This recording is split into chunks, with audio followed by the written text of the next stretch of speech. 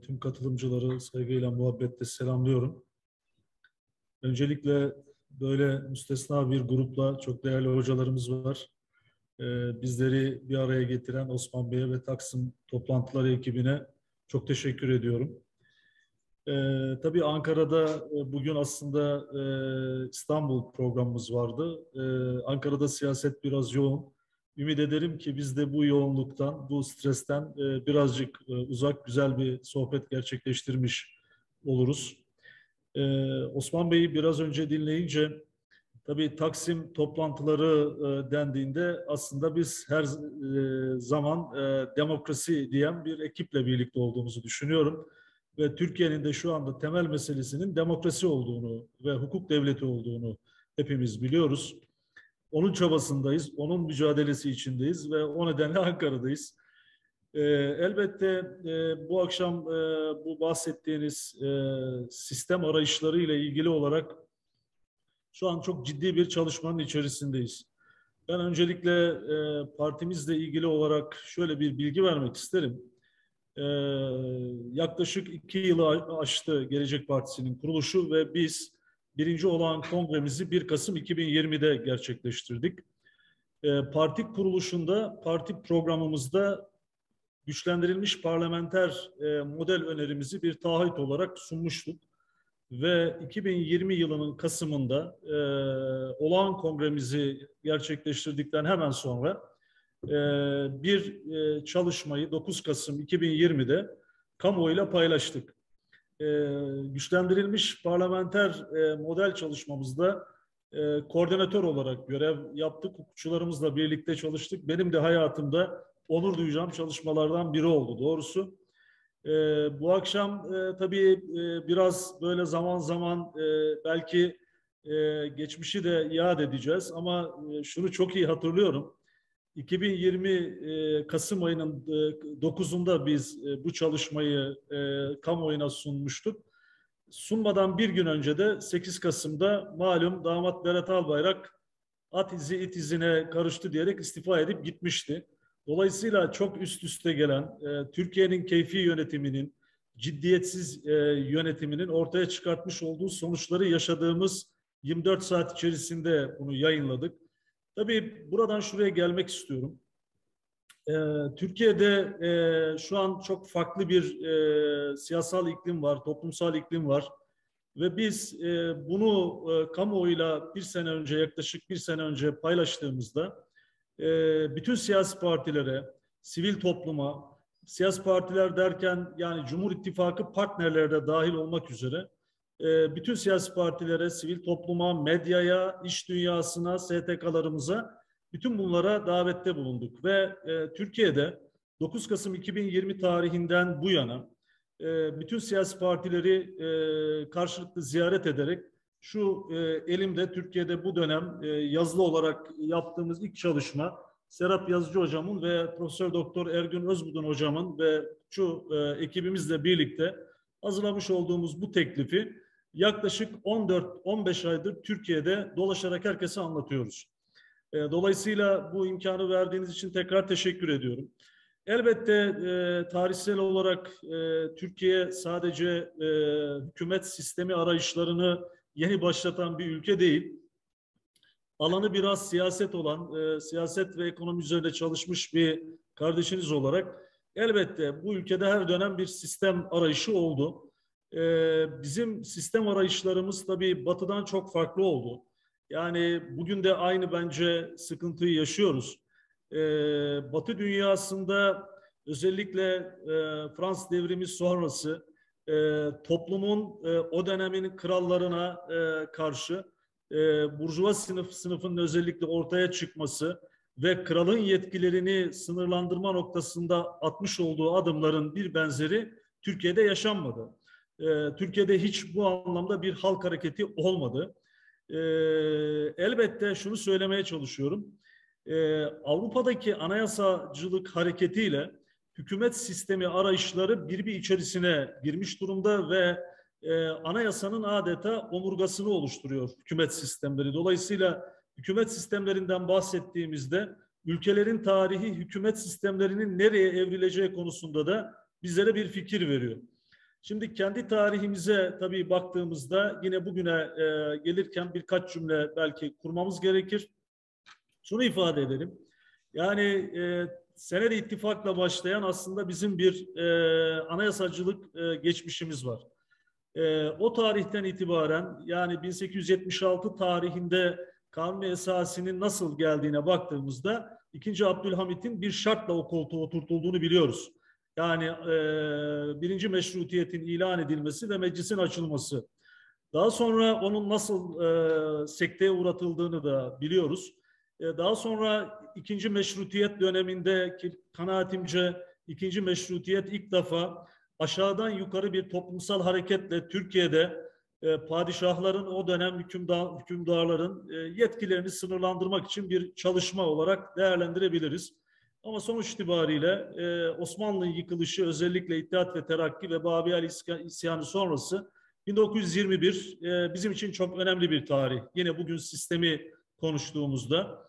E, niçin önemli? Çünkü ilk defa yine bizim e, anayasa tarihimizde, hükümet sistemi geçmişimizde daha Osmanlı Devleti devam ederken Türkiye Devleti, Türkiye Büyük Millet Meclisi tarafından idare olunur hükmü 1921 Anayasası'nın çok önemli bir hükmü ve orada hakimiyet kayıtsız şartsız milletindir hükmü var.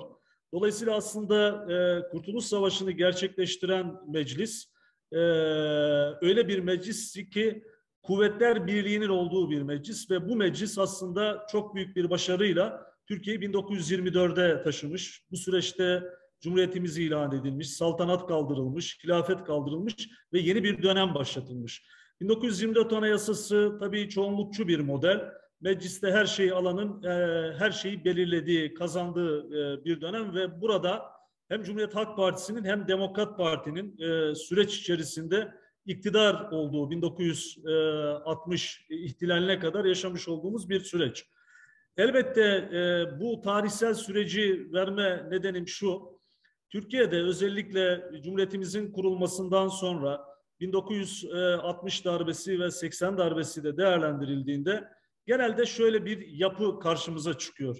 Aslında e, Avrupa'daki biraz önce gelişimden bahsettiğimde Avrupa'da feodalite yıkılırken, derebeylikleri yıkılırken e, özellikle e, İngiltere'deki Magna Carta'yı hatırladığımızda Avrupa büyük bir dönüşümü Fransız devrimi sonrası yaşarken e, parlamentolar, meclisler yavaş yavaş oluşmaya başlarken Türkiye'de e, 2. Mahmut'la birlikte bir şeyin başladığını görüyoruz. O nedir? O derebeyler Osmanlı'da güçleniyor. Şimdi e, yeni döneme geldiğimizde Türkiye Cumhuriyeti e, biz kurulduktan sonraki e, döneme geldiğimizde bizim tarihsel e, geçmişimizde hiçbir halk hareketi ve demokratik bir hareketle ortaya çıkan bir anayasacılık çalışması maalesef yapılamıyor.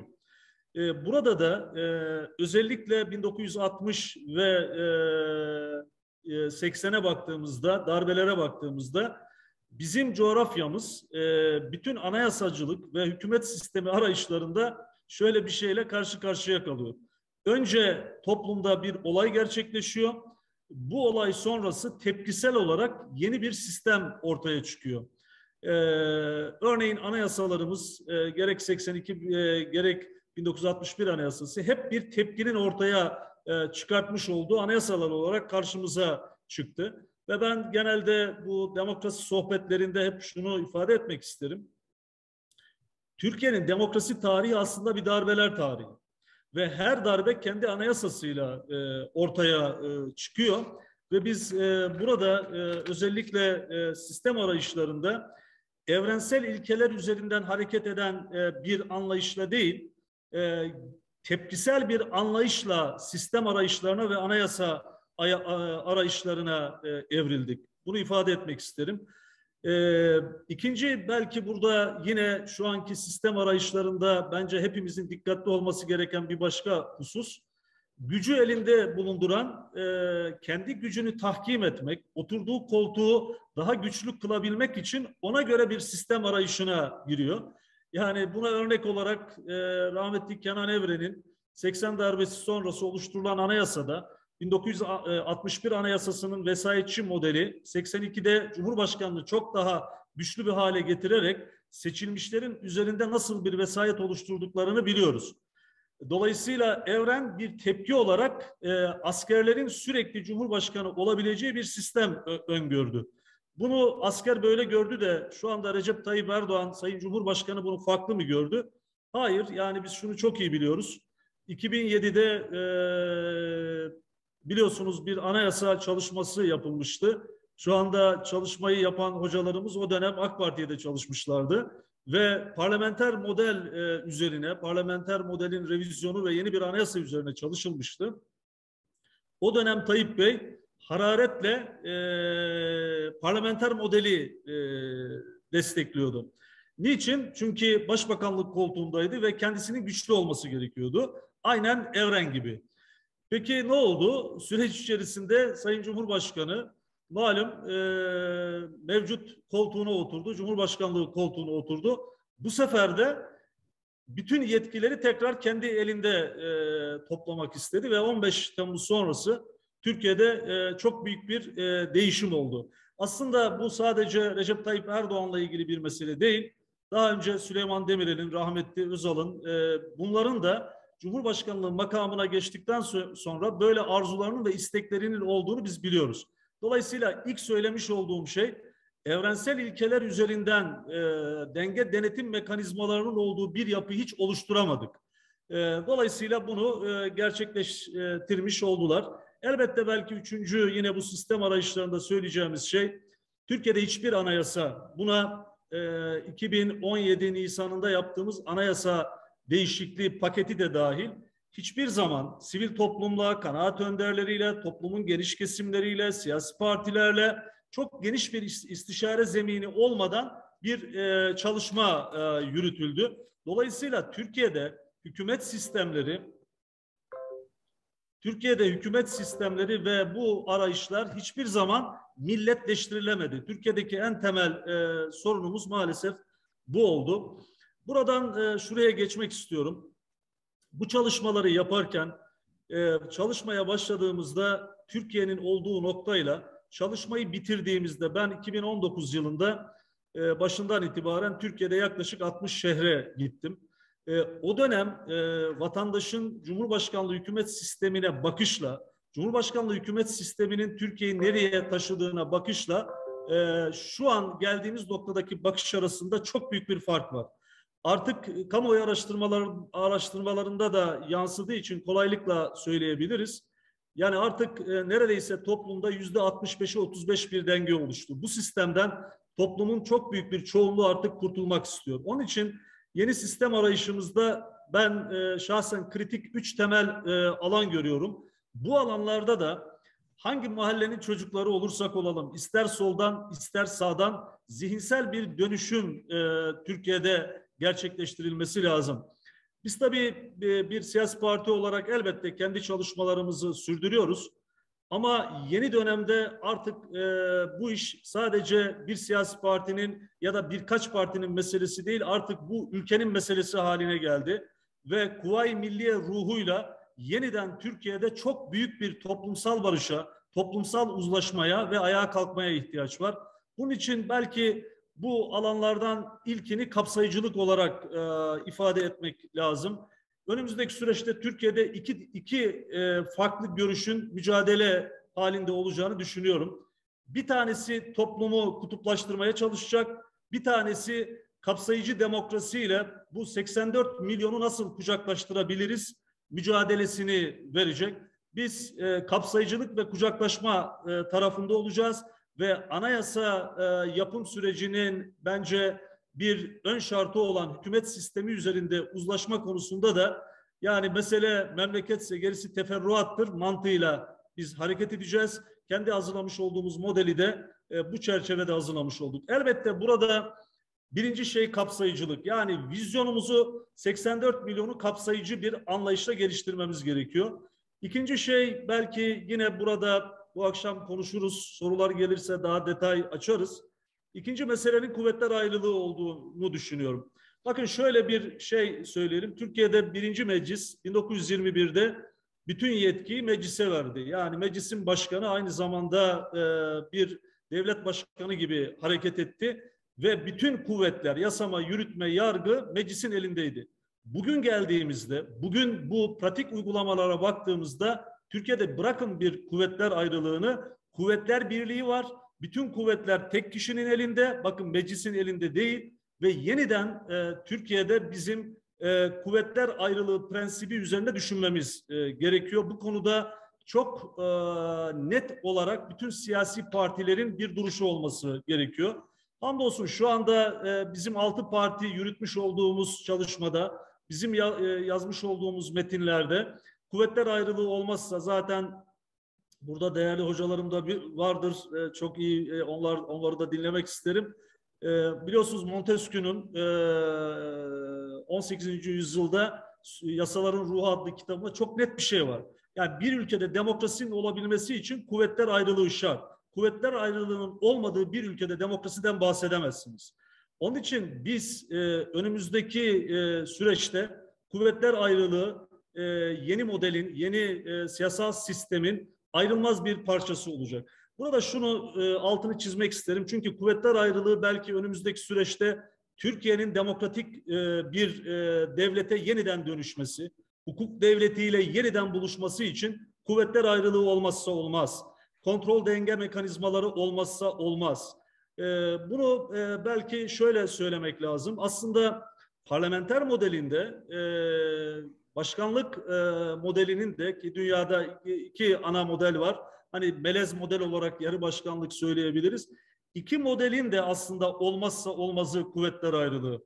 Fakat burada bizim şöyle bir sorunumuz oldu bu kuvvetler ayrılığı meselesini konuşurken. Türkiye'deki model şu anda ne başkanlık ne başkanlık ne parlamenter sistem. Yani biraz önce ifade ettiğim gibi 1960 darbesi sonrası gelen parlamenter sistem ya da 1980 darbesi sonrası gelen 1982 anayasası nasıl klasik bir parlamenter model değil, değildiyse bugün Türkiye'de uygulanan model de bildiğimiz bir başkanlık modeli değil. Ha ne olabilir? Ne, nereye koyabiliriz Türkiye'deki modeli? Yine kuvvetler ayrılığı bahsında bunu ifade etmek isterim. Türkiye'deki sistem ben biraz şeye benzetiyorum. Yani 1993'te e, malum Yeltsin'in e, Duma'dan geçirmiş olduğu bir şey vardı. E, Yeltsin'in bir başkan olarak çıkartmış olduğu kararnameler kanun e, gibi e, geçerliydi. Parlamento saf dışı bırakılmıştı bütün e, yasama, yürütme, yargı Yeltsin elindeydi. Daha sonra bu yetki malum e, ondan sonra e, gelenlerin eline geçti ve şu an Putin kullanıyor. Dolayısıyla bizim sistem biraz e, Rusya'ya, biraz e, oralara doğru kaydı ve süper başkanlık olarak adlandıracağımız, kuvvetler birliği olarak adlandıracağımız ve demokrasiden otokrasiye e, geçişi adeta sağlamış bir sistem. Dolayısıyla ne parlamenter sistem Türkiye'de demokratik bir şekilde uygulanabildi ne de başkanlık diye başlanan bu ucube sistem gerçekten bir demokratik sistem. Böyle olsaydı biliyorsunuz e, Amerika'nın kurucuları e, Thomas Jefferson'ın çok güzel bir sözü var. Kendi elimizle e, bir despot seçemeyiz. Kuvvetler ayrılığına vurgu yaparken bunun sistem için önemine vurgu yaparken böyle bir cümlesi var. Aslında maalesef Burada e, toplum olarak, siyasiler olarak hepimizin üzerinde düşünmesi gereken konular var. Özellikle 15 Temmuz sonrası o sisli ortamda belki çok tartışılmayarak, belki Amerikan modeli daha fazla hızlı karar alabileceğimiz bir mekanizma geliyor diyerek e, belki desteklendi, şu oldu bu oldu ama sonuç itibariyle e, Türkiye kendi eliyle maalesef tırnak içinde ifade ediyorum bir e, otoriter e, yapıya doğru e, evrilmiş oldu. Yine bu önümüzdeki süreçte üzerinde e, vizyoner olarak düşünmemiz gereken en önemli konu e, temsil ve istikrar arayışı olacak. Biz Gelecek Partisi olarak e, ki şu anda yürütülen e, çalışmalarda da e, bunu bir noktaya kadar taşıdık. Burada biz e, sıfır baraj öngördük. Yani mecliste e, partiler e, mutlaka temsil edilsin, oy alan partiler. E, şu an e, mutabakatta bu yüzde üç olarak liderlere sunulmuş oldu. Bunu da bu vesileyle e, burada ilk kez sizlere e, açıklamış e, olayım. Burada tabii bizim istikrar arayışımız, e, bizim e, burada parlamenter modelle ilgili genelde en büyük eleştiri malumunuz Yani koalisyonlar, e, sürekli hükümetlerin devrilmesi. E, bununla ilgili olarak niçin tam demokrasi için güçlendirilmiş parlamenter model diyoruz? Güçlendirilmiş çünkü bu sistem bu sistemde hükümet kurmak kolay. Bizim getirdiğimiz modelde basit çoğunlukla hükümet kurulabiliyor. Yıkılması zor, salt çoğunlukla yıkılabiliyor. Aynı zamanda bir gen soru biliyorsunuz başkanlık sisteminde olmayan parlamenter modelde olan bir şey. E, gen soru mekanizması geliyor. Fakat gen soruyu verecek olan taraflar bir hükümeti yıkarken nasıl bir hükümet yapacaklarını da verdikleri gen soruda sunmak zorundalar. Yani yap, yapıcı güvensizlikten bahsediyorum. Yapıcı güvensizlik oyundan bahsediyorum. Böyle bir modeli de e, inşallah önümüzdeki e, süreçte e, ortaya koymuş olacağız. Ben aradan da tabii saate bakıyorum. Ee, buradan şeye geçmek isterim biraz doğrusu. Yani e, üç temel alandan bahsettik ve kuvvetler ayrılığından bahsettik. Şöyle bu kişiselleştirilmiş yürütme dediğimiz, yani şu anki modelle ilgili birkaç cümle e, e, kurup biz ne öneriyoruz onu da ifade edeyim. Şu anda e, bir model var e, ve bu model aslında e, bazen gece yarısı hayatımıza giriyor. Bazen bir bakanın istifasıyla e, bazı şeyleri daha iyi anlıyoruz. Ama birkaç örnek vermek isterim. Şu anda e, kişiselleştirilmiş bir yürütme var. Ve zaman zaman Türk kamuoyunda dikkat ediyorum. Şöyle bir algı oluşuyor. Bakanlardan bahsediliyor. Cumhurbaşkanlığı kabinesinden bahsediliyor. Ee, sevgili bakanım gülüyor. Sadece onların ismi var aslında. Onlar bir danışma heyeti, onlar bir sekreterya. Onların hiçbir etkisi ve yetkisi yok. Yani onların imza yetkisi de yok. Bakın düşünün bir pandemi yaşadık. Pandemide doktorlarımız, hekimlerimiz oturuyorlar. Bilim kurulu bir karar alıyor. Sağlık Bakanımız diyor ki biz bu kararı Sayın Cumhurbaşkanı'na sunacağız. Karar kendisinindir. Yani dolayısıyla eski bakanlar kurulu gibi değerlendiriliyor. Eski bakanlar kurulunda bir başbakan var ama sonuçta orada bakanların imzası olmadan o karar devreye alınamaz. Öyle bir karar gerçek olamaz. Dolayısıyla tamamıyla tek kişinin tek akla indirgenmiş e, kararlarla e, yönetilen e, bir şey var. Ve bakanlarımızın da orada imza yetkileri yok. Tabii burada belki e, hepimizin yine biraz önce ifade ettim üzerinde düşünmesi gerek, gereken bir başka konu sınırları belli olmayan bir Cumhurbaşkanlığı kararname yetkisi var Sayın Cumhurbaşkanlığı.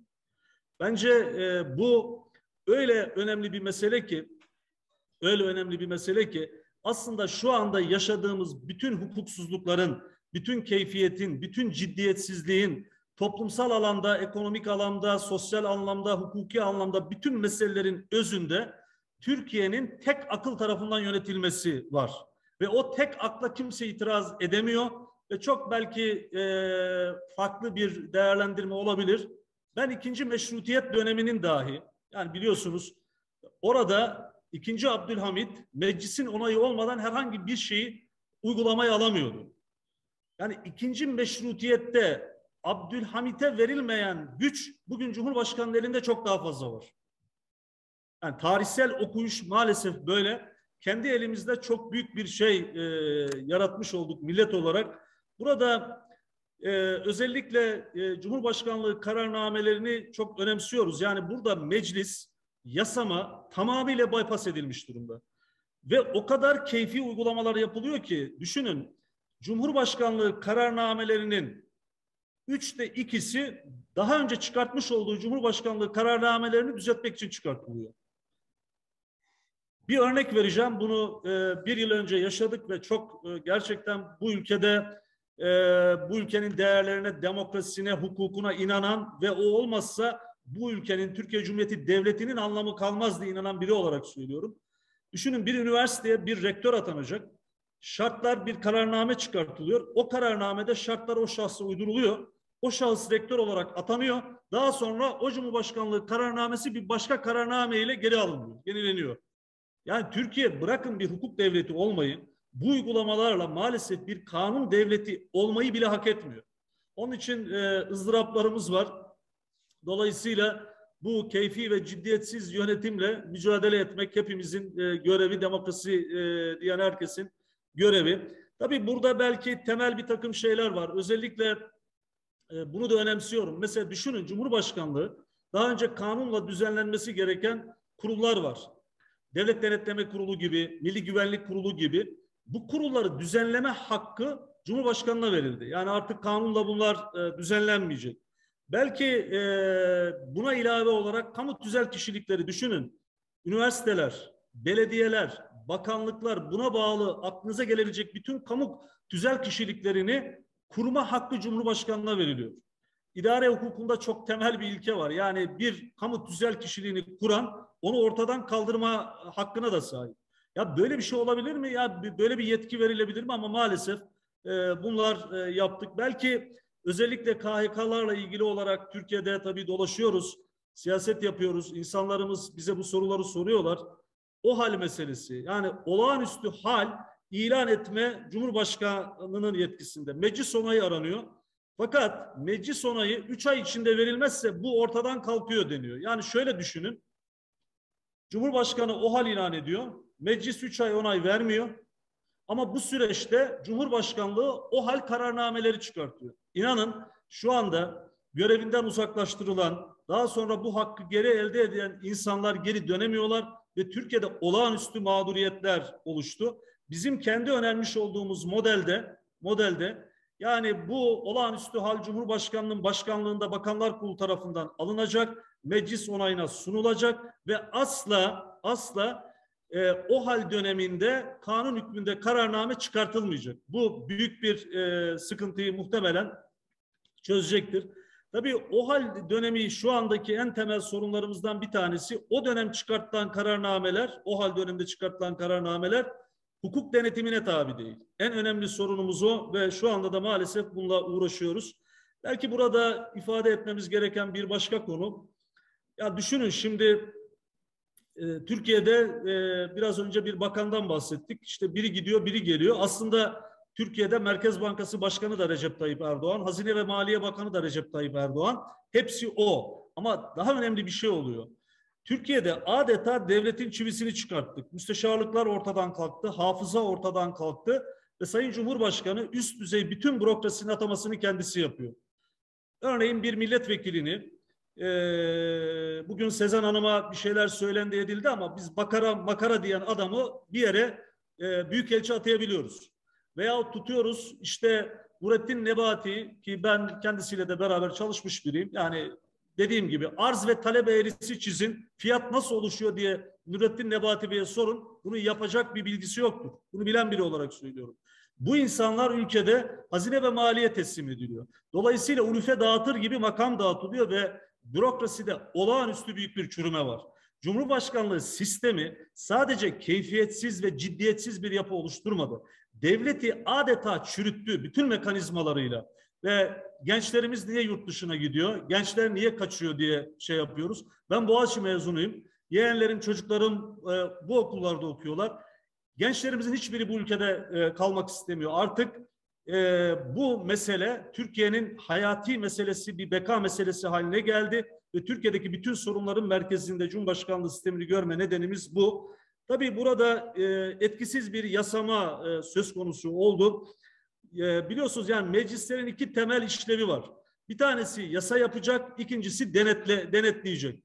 Yasa yapma yetkisi e, şu anda adeta Cumhurbaşkanı tarafından e, meclisin elinden elinmiş, alınmış durumda.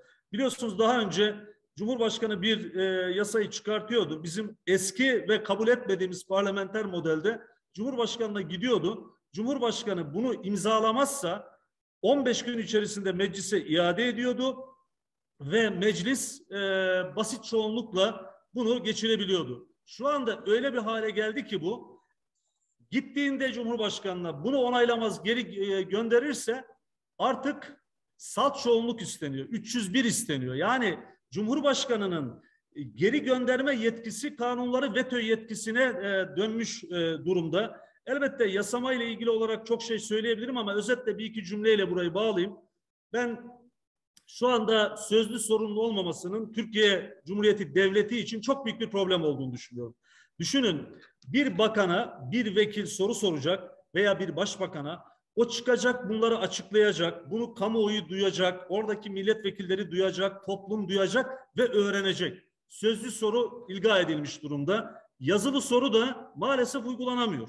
Biz bunların yeni e, getireceğimiz parlamenter e, e, önerimizde bunların hepsi geri geliyor. Burada tabii belki üzerinde konuşmamız gereken şey tabii gen soru geliyor. Meclis soruşturması. Bunu çok önemsiyorum. Bunu çok önemsiyorum. Bu ülkede başbakanlar Yüce Divan'a gönderildi. Bakın şu anki bu model daha önce milletvekillerinin onda biri yani 550 vekil vardı. 55 vekil meclis soruşturması önergesi verebiliyordu. Ve 276 ile 550 vekil olduğunda Yüce Divan'a sevk edilebiliyordu. Şu anda Yüce Divan'a sevk için 400 vekil gerekiyor. Yani öyle bir hale getirildi ki artık bu ülkede hiç kimseyi iktidarda olan hiç kimse Yüce Divan'a gönderilemez bir hal aldı. Burada daha önemli bir şey var. Eskiden herhangi bir bakan Yüce Divan'a sevk edildiğinde veya bir başbakan sevk edildiğinde, başbakan sevk edildiğinde hükümet düşüyordu. Öyle değil mi Sayın e, Bakanım? Yüksel Bey.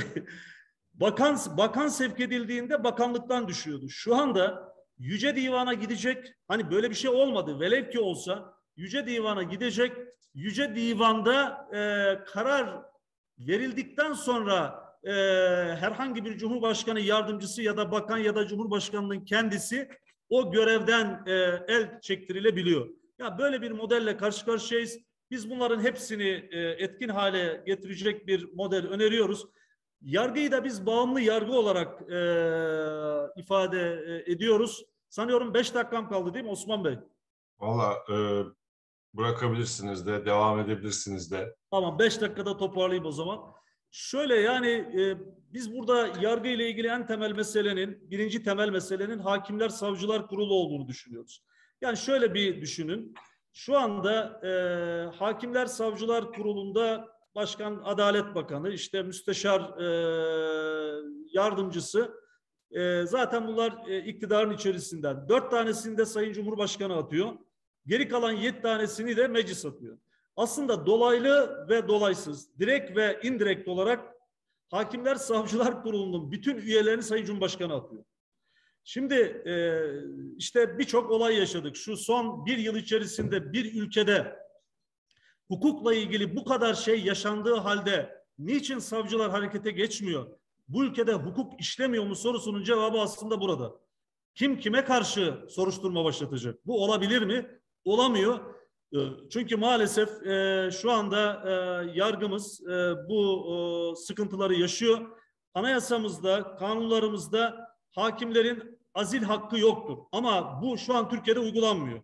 Coğrafi teminat konusunda böyle bir hakları yok. Dolayısıyla bu iki hak korunmadığı için, özlük hakları korunamadığı için bunlar hakimler savcılar kurulunda burayı tahakküm altında tutan iktidar tarafından e, adeta yönetildiği için şu anda yargı maalesef iktidarın bir sopası haline getirildi.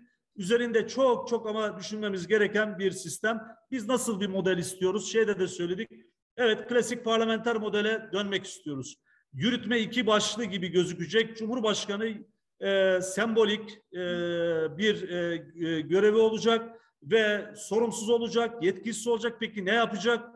Parlamento seçimleri olduğunda parlamentonun içerisinden e, en fazla sandalyesi olan partinin e, liderine e, görevi verecek. Bakanlar Kurulu oluşacak. Bir tarafta Cumhurbaşkanı, bir tarafta Bakanlar Kurulu. iki yapılı bir e, sistem. Cumhurbaşkanı bir abi, bir e, abla, bir ara bulucu ve e, Cumhurbaşkanı tarafsız olacak. Herhangi bir e, siyasi e, gömleği olmayacak. Dolayısıyla Bakanlar Kurulu hesabı kime verecek?